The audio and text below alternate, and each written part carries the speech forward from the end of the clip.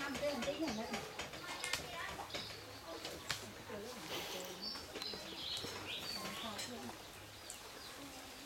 nấy